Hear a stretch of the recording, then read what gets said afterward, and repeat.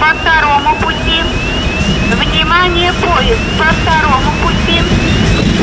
Предупреждающий сигнал машиниста – объявление дежурного по станции. А еще светофор и звуковая сигнализация на самом железнодорожном переезде. Автомобилистов многократно оповещают о приближающемся поезде.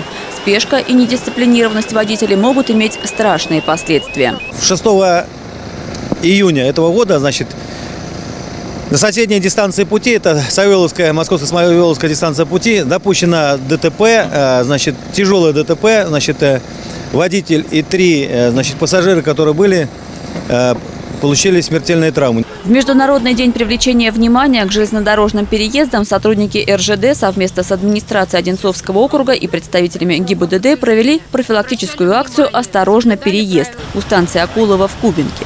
Вместе с милыми девушками водителей приветствовал мрачный персонаж в черном плаще, маске из фильма «Крик» и с косой в руке. Нетрудно догадаться, кого он изображал. Участникам дорожного движения вручали памятки и напоминали о правилах переезда железнодорожных путей. Автомобилисты такую акцию оценили положительно.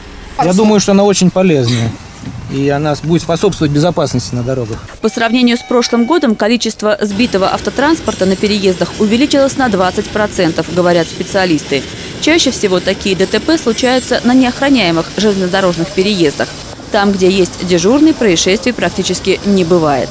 Даже машина по техническим неисправностям становится на переезде, то дежурный по переезду примет все меры для того, чтобы остановить поезд. Потому что э, поезд – это не автотранспорт, который может остановиться, а тормозной путь бывает до километра. В 2020 году на территории Одинцовского округа произошло 5 ДТП на железнодорожных путях. Два на Усовской ветке и три на Московско-Смоленской дистанции пути. Поэтому акцию «Осторожный переезд» в округе проводят регулярно. Остальное зависит от сознательности самих водителей. Наталья Гончарова, телекомпания «Одинцова».